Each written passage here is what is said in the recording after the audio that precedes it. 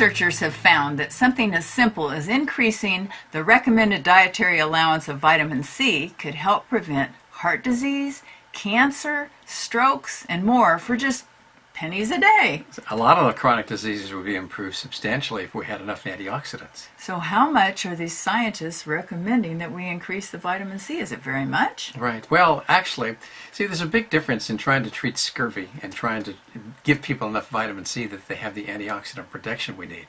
It doesn't take much to prevent scurvy, probably just 20 or 30 milligrams a day. The RDAs now are between 75 and 90 milligrams a day, 75 for women and 90 for men.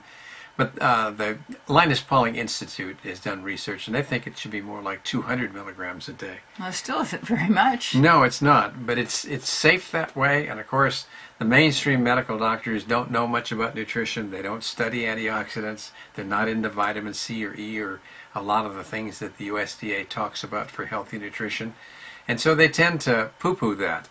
And what we need to do is really look at nutrition in a very much more serious way. And doctors don't get much in the way of nutritional education. Well, a lot of people would think, well, isn't it enough to just drink a glass of orange juice? Mm-hmm. Well, you can get it from your diet, and orange juice has some in. There's no question about that.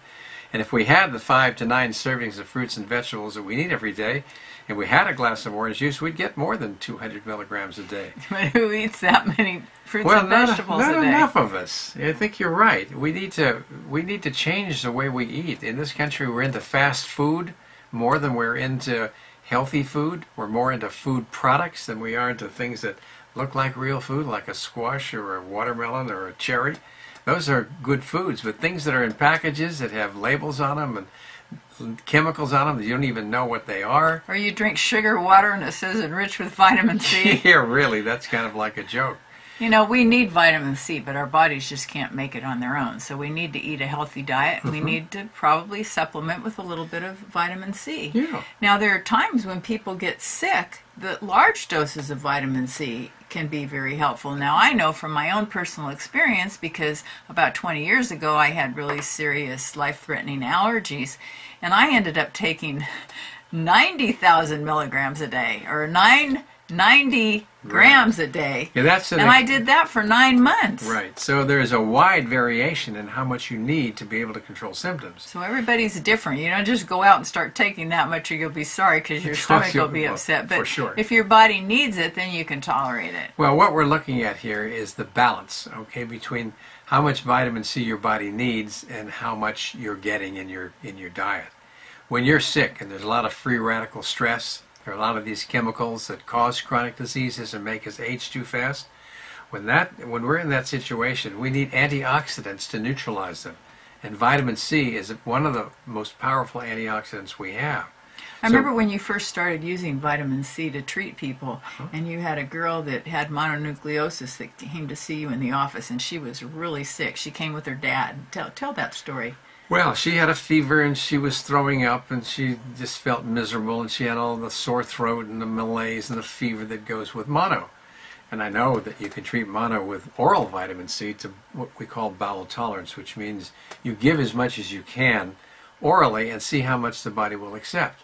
Well, her body accepted about 60 grams, okay, of vitamin C over the course of a few hours.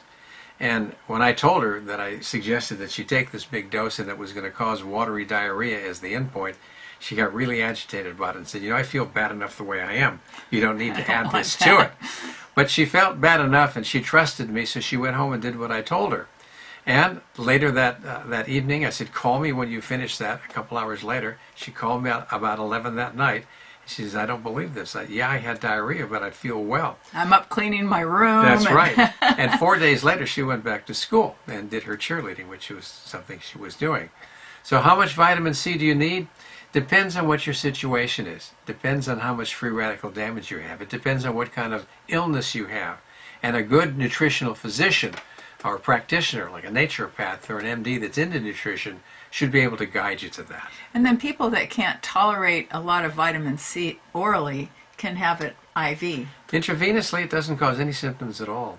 And I often will give up to 150,000 milligrams a day intravenously for people who have certain kinds of illnesses, things like viral hepatitis that's acute, or people who have other kinds of uh, severe illnesses like a, an influenza or maybe a swine flu that was re- or a bird flu that were really serious, a lot more than they actually turned out to be. I saw you give it to somebody with shingles one time. Shingles. Cleared up her shingles. It cleared it up in about 72 hours, and that was done in the hospital, which is another interesting Doesn't story. mean that it does it every time, but No. you know it did. And also, it's helpful for cancer sometimes. It's a wonderful treatment for some cancers, and it should be tried because it's not invasive and it's safe.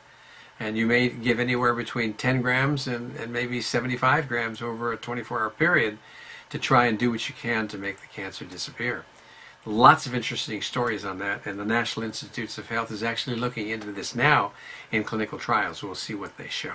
Well, I think that vitamin C can have significant effects on public health, and it's cheap. It costs like about Mm-hmm. Pennies a a penny a day if you Yeah. take 200 milligrams Oh, a day. right.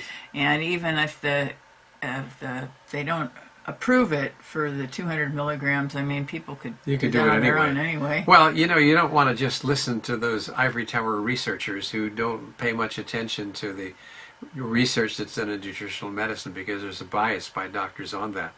You have to remember that the way we're trained, it's through the pharmaceutical industry. And the pharmaceutical industry is not into things that take away from the sale of their products. Yeah, and things that are for prevention because vitamin C can actually lower blood pressure. Mm-hmm. It can reduce inflammation, which is really the major cause of disease anyway. All the And- chronic And it can boost immunity. So vitamin C is a pretty good micronutrient. Absolutely. It boosts those natural killer cells most of the time in people who have illnesses where that's a problem, like viruses and cancer. So, how much vitamin C do you need? It varies with who you are, what your situation is. What do you want? How much do you want to take to try and keep your, your health at, at the best place that you can? Depends on what your diet is like. If you're getting those five to nine servings of vegetables a day, it's going to be great. If you don't, you may have to supplement, and that's fine.